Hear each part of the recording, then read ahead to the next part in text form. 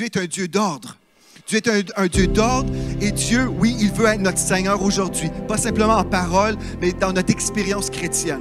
Et je peux vous, je peux vous le garantir, frères et sœurs, je, suis tellement content de pouvoir vous partager ces choses-là. Et si vous pouvez les- les recevoir dans votre cœur et les vivre, vous allez voir que la vie chrétienne fonctionne comme jamais auparavant.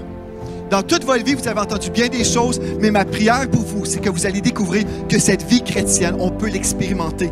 Euh, vraiment, les promesses de Dieu sont pour moi, oui et amen. C'est là qu'on vive la parole de Dieu.